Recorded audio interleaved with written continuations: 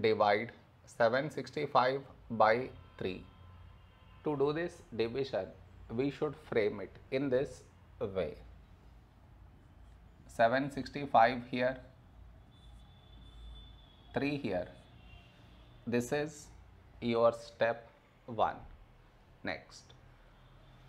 Here we have 7, here 3. A number close to 7 in 3 table is 3 twos 6. Now we should subtract, we get 1. After this, bring down the beside number, so 6 down, so 16. A number close to 16 in 3 table is 3 fives 15. Now we subtract, we get 1.